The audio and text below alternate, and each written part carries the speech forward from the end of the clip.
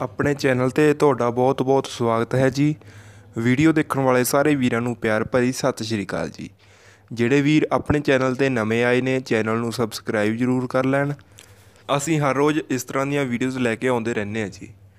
ਆਪਣੇ ਚੈਨਲ ਦਾ helpline number note ਕਰ ਲਓ ਜੀ 8847 48496 ਜੇ ਕਿਸੇ ਵੀਰ ਨੇ ਆਪਣੇ ਇਸ ਚੈਨਲ ਤੇ ਕਿਸੇ ਸਾਧਨ ਦੀ, ਜ਼ਮੀਨ, ਪਲਾਟ, ਕਿਸੇ ਵੀ ਚੀਜ਼ ਦੀ ਐਡ ਲਵਾਉਣੀ ਹੋਵੇ ਤਾਂ ਆਪਣੇ ਸਾਧਨ ਦੀਆਂ 5-7 ਫੋਟੋਆਂ ਅਤੇ ਲੋੜੀਂਦਾ ਜਾਣਕਾਰੀ ਸਾਨੂੰ ਸਾਡੇ ਇਸ ਨੰਬਰ ਤੇ ਭੇਜ ਦਿਓ ਜੀ।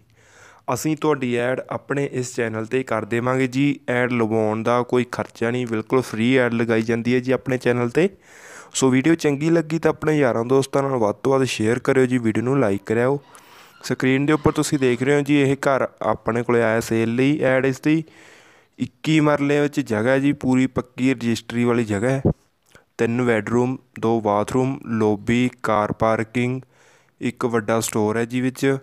ਬਿਜਲੀ, ਪਾਣੀ ਦਾ ਸਾਰਾ ਪ੍ਰਬੰਧ ਹੈ ਜੀ।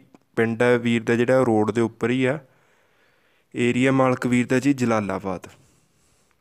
ਜਲਾਲਾਬਾਦ ਦੇ ਲਾਗੇ ਪਿੰਡ ਹੈ ਵੀਰ ਦਾ। ਰੇਟ ਰੱਖਿਆ ਗਿਆ ਜੀ 17 ਲੱਖ ਰੁਪਏ। ਫੋਨ ਨੰਬਰ ਹੈ ਵੀਰ ਦਾ ਜੀ 99061 73404 ਜੇ ਕਿਸੇ ਵੀਰ ਨੇ ਘਰ ਖਰੀਦਣਾ ਹੋਵੇ, ਮਾਲਕ ਵੀਰ ਨਾਲ ਫੋਨ ਤੇ ਗੱਲਬਾਤ ਕਰਕੇ ਘਰ ਨੂੰ ਖਰੀਦ ਸਕਦੇ ਹੋ ਜੀ। 21 ਮਰਲਿਆਂ ਵਿੱਚ ਜਗ੍ਹਾ ਹੈ ਜੀ, ਪੂਰੀ ਪੱਕੀ ਜਗ੍ਹਾ, ਰਜਿਸਟਰੀ ਵਾਲੀ। ਤਿੰਨ ਬੈੱਡਰੂਮ, ਦੋ bathroom, lobby, car parking, store ਹੈ ਜੀ। ਬਿਜਲੀ, ਪਾਣੀ ਦਾ ਸਾਰਾ ਪ੍ਰਬੰਧ ਹੈ ਜੀ।